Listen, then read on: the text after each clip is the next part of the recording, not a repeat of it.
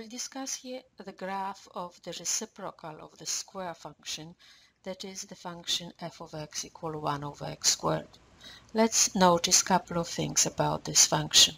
The domain of that function is the set of all real numbers except 0, and therefore again the graph of the function will consist of two parts, one for x is less than 0, one for x is greater than 0.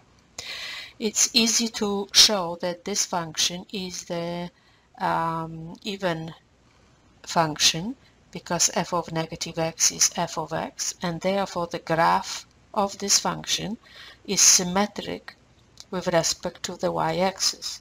It also means that we need to graph only the part for x is greater than 0 and use the symmetry to obtain the graph for x is less than 0. Also notice that the value of 1 over x squared is always positive and therefore the graph will be always above the x-axis. As with the reciprocal function, we notice that reciprocal of the large number is very small number and the reciprocal of a small number is a large number. We use this property to obtain the graph. Let's plot couple of points. So for 1 the value of y is going to be 1. If x is equal to, value of y is going to be 1 fourth. If x is equal 3, value of y will be 1 9. With increasing uh, values of x, uh, the value of y is going to become smaller and smaller and therefore the graph is going to be approaching the x-axis when x increasing without bound.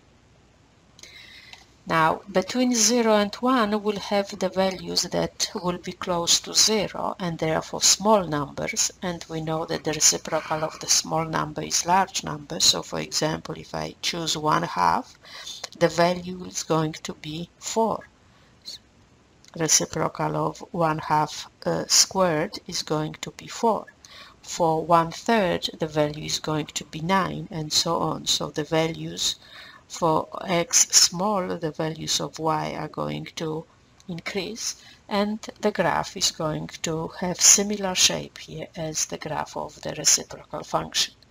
However, this function is even, so the graph is going to be symmetric with respect to y-axis and draw, uh, plotting couple of points will obtain the complete graph of that function.